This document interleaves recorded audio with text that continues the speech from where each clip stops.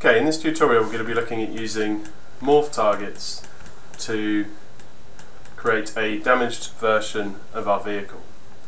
So this is a common technique used in industry for uh, blending between a good part, the normal chassis of a vehicle, and then over to a damaged part of the vehicle when the vehicle has a collision with a wall or something like that. So um, you can see we've got a basic chassis model here. Um, we've got a basic material applied to this, and literally the diffuse is just a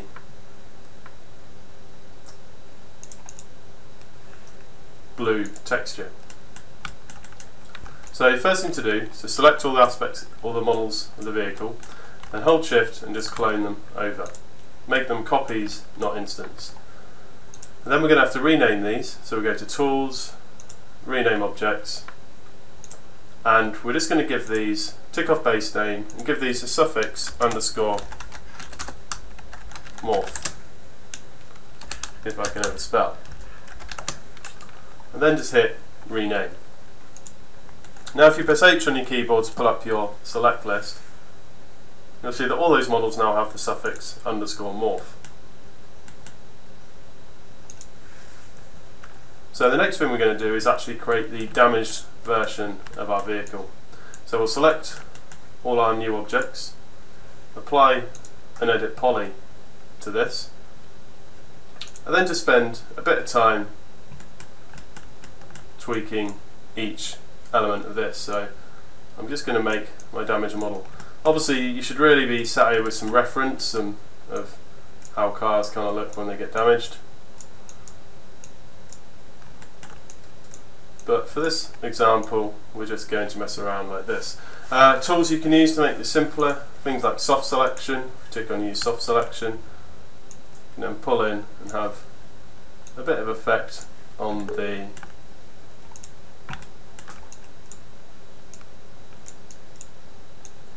assets, oh, sorry, on the vertices around it.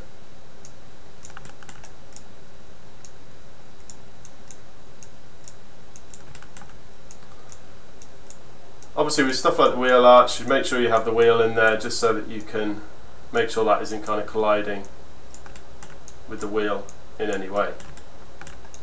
Now an important thing about morph targets are the object, the model that you're morphing to must have exactly the same kind of vertex count and vertex numbering otherwise it's not going to work. So hence why I've copied the kind of exact model across. So I'm actually only going to do this on the on the door, the front door and this wheel arch.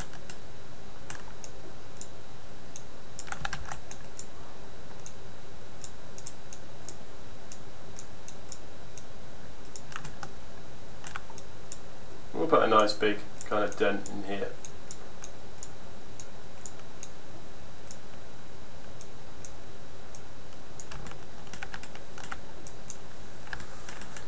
So that'll do. Got my two assets there. Obviously if you want you can do kind of whole vehicle, but I'm just going to do these two panels here. Okay, so as you can see, we've now got a damaged version and our normal version here. So the only one we're going to actually use is this one. So we'll select the with front wheel arch and then in our modifier list we'll select morpher.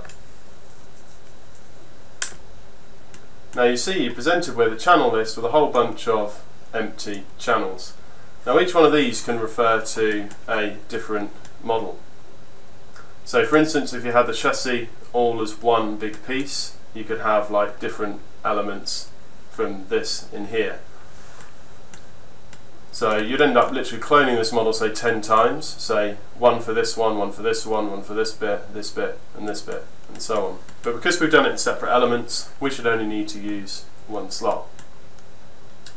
So in our first channel here, we need to go to the pick object from scene button and just select our damaged version. And you see now that's appeared up here and appeared here.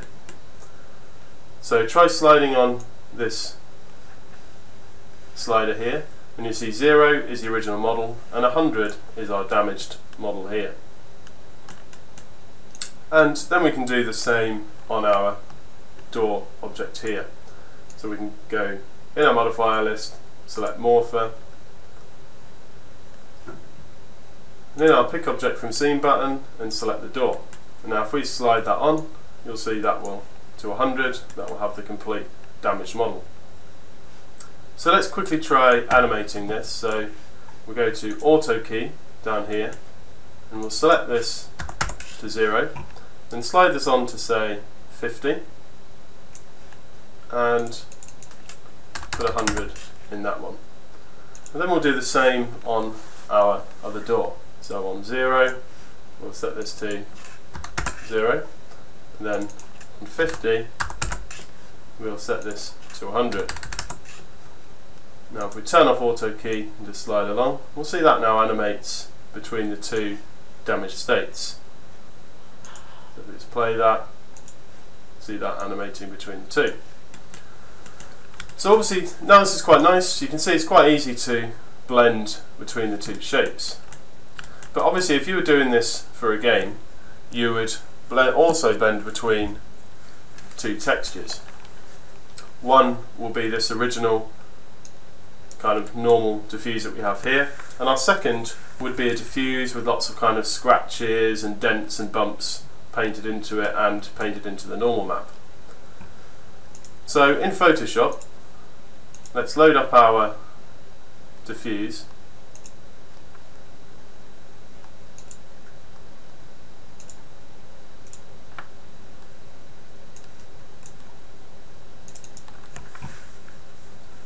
on this, this is where we would paint our damage map. Literally, just for this demo, I'm just going to apply a different colour in here. But the principle is, you would actually have lots of kind of scratches and bumps painted into this. And then I want you to save this as ls underscore damage diff. So now back into our 3ds Max scene. In our Morpher modifier, in global parameters, you'll see we've got an assign new material button. So let's hit that, and you'll see the vehicle thing instantly goes white. So we'll do the same on our other panel, our door one here, assign new material. now in our material editor, if you select a new material slot and go to the material picker and then just click on either one of the panels You'll see our new material is like this. We have our channel list here, which is the same as these, only this time it has a material in it. And the first thing we want to do is choose morph object. So let's hit that and select our door panel and then select the morph modifier and hit bind. Now you can see this has gone white and that's because it's put a default material in here but we want to actually use our blue material, so we'll drop that in there. Then in map 1 we'll want to click this none tab because number 1 assigns to our channel 1 up here. So we'll select standard